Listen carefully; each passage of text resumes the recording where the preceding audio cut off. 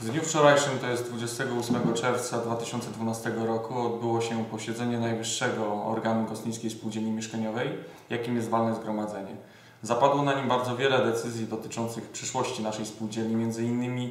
nieudzielenie absolutorium prezesowi spółdzielni oraz odwołanie członka Rady Nadzorczej. Decyzje te, chociaż bardzo istotne, na pewno nie wpłyną negatywnie na funkcjonowanie biura spółdzielni, ponieważ posiadamy wykwalifikowaną i doświadczoną kadrę, która wykonuje swoje codzienne obowiązki służbowe, pracuje na rzecz i w interesie wszystkich członków spółdzielni.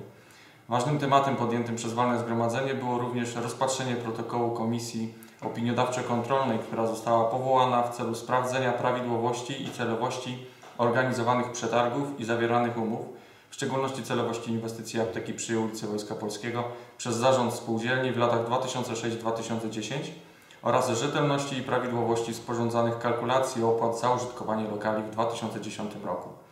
Walne zgromadzenie nie zgodziło się ze stwierdzeniami zawartymi w protokole komisji, to jest jakoby poprzedni zarząd, jak również poprzednia Rada Nadzorcza działała na niekorzyść członków spółdzielni. Walne zgromadzenie nie przychyliło się również do wniosku komisji o zobowiązanie zarządu do złożenia w prokuraturze zawiadomienia o podejrzeniu popełnienia przestępstwa przez poprzedni zarząd i Radę Nadzorczą.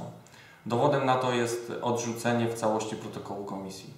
Analizując na gorąco przebieg walnego zgromadzenia, można stwierdzić, że członkowie spółdzielni mają zaufanie do działań zarządu i Rady Nadzorczej.